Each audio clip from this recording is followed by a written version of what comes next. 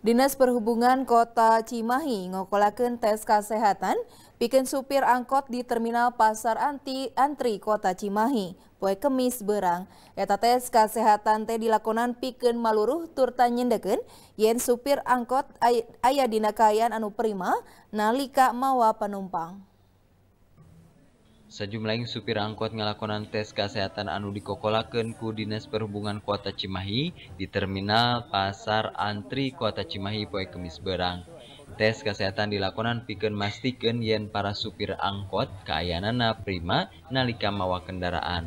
Lian tikitu tes kesehatan oge dilakonan pikeun mastikeun yen para supir teu kapangaruhan ku alkohol atawa narkotika jeung obat sejana.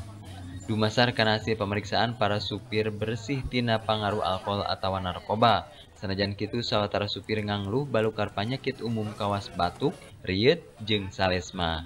Kepala Seksi Angkutan Dinas Perhubungan Kota Cimahi, Ranto Sitanggang, nembraken tes kesehatan mangrupa salah satu program Dinas Perhubungan Kota Cimahi bisa gerengen ngaroris kelayakan kendaraan anak. Ini keluhannya hanya pusing, batuk, Eh, sampai saat ini dilakukan pemeriksaan tidak ada satupun supir yang dibawa pengaruh alkohol.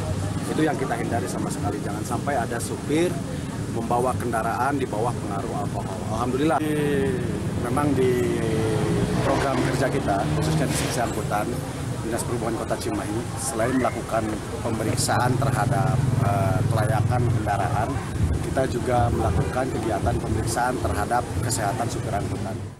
Banyak pak, banyaknya yang pusing, ambeien gitu. Kalau supir-supir penyakit kurang minum lah. Kurang istirahat juga? Ya, kurang istirahat, kurang minum. Dinas Perhubungan Kota Cimahi bakal mayeng ngalakonan tes kesehatan supir bikin ngurangan jumlah kecelakaan balukar capek lantaran supirna temerhatikan kesehatan. Algi Muhammad Gifari, Bandung TV.